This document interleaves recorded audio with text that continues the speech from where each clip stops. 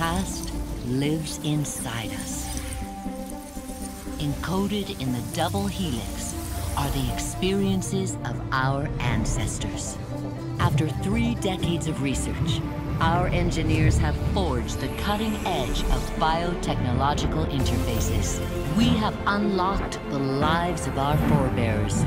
We have opened a window into the past.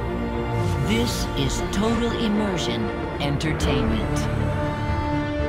With the press of a button, you will experience the most pivotal moments in history.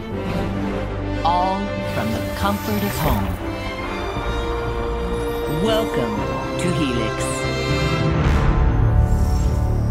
Where the past is your playground.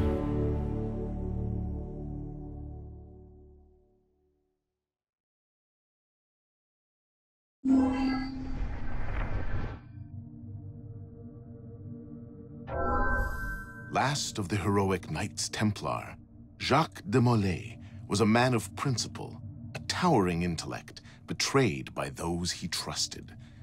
In this episode of Fallen Heroes, experience Jacques de Molay's final tragic hours through the eyes of one of his closest friends and advisors.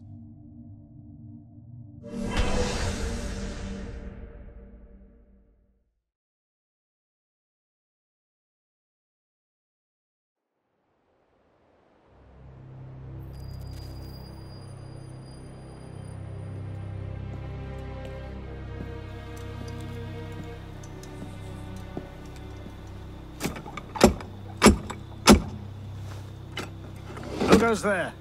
A friend of the temple. Fluaurak. The Council's message was absolute. You're not welcome here. I must speak with the Grand Master. He's in session. They all are. Another day, perhaps. King Philip disagrees. Damn you, man.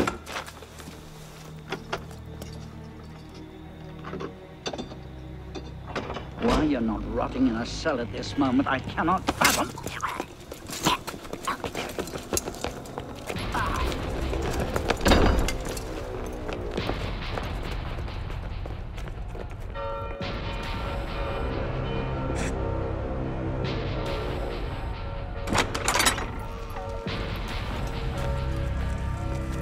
We are betrayed.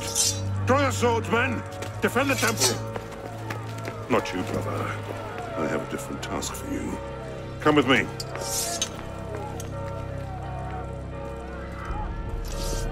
King Philip's moving faster than we expected. Mm-hmm. Another hand is at work here. The Pope? The assassins. Assassins?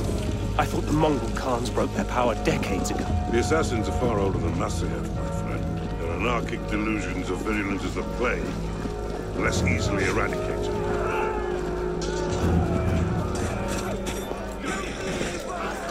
Will not prevail this night, but if you make haste, we may yet save our order. What must I do?